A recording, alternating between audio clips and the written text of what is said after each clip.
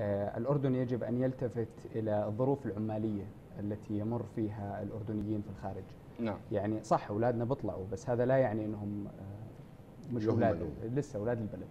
فلذلك تم تغيير اسم وزارة الخارجية لوزارة الخارجية وشؤون المغتربين يعني أصبح لدينا مجتمع من المغتربين الأردنيين بالخارج. في الخارج. يجب علينا أن نتطلع تماما إلى ظروف العمال آه، عمالنا أبنائنا الموجودين في الخارج. وظروف الظروف الحياتية للمغتربين لأنه هم ما خرجوا كما تفضل الأستاذ ما خرجوا طواعية بكيفهم. هم طلعوا لأهداف اقتصادية بدهم يعيشوا بدهم يحققوا أعمالهم وغيره وهذا أيضا يفتح الباب للنظر إلى الظروف للعمال الموجودين بالأردن. نعم. عمالنا أبنائنا الموجودين بالبلد. حط لي البطالة على جنب. نحكي قاعدين بطالة 19% طيب.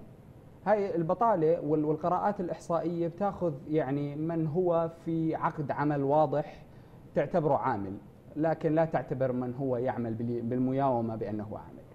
قد تتفاوت النسب من سنة إلى أخرى. ممكن أن تخرج الحكومة بعد ثلاث أشهر تقول لك انخفضت النسبة. مش هون مشكلتي.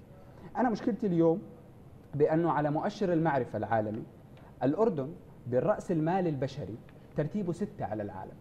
بمعنى أن آه، الأردنيين مؤهلين وقادرين ولديهم الطاقات الكافية لبناء أي مدن مستدامة وقادرين على العمل على خطوط إنتاج جيدة جدا. نعم. طيب لكن بالمقابل هذا المؤشر يقول بأن الأردن في ذيل القائمة فيما يخص السياسات التوظيفية السياسات الاستثمارية للرأس المال البشري.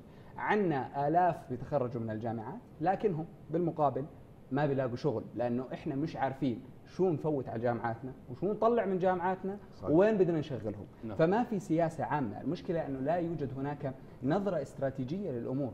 عنا 37 استراتيجية سيدي العزيز موجودين في أدراج الحكومة.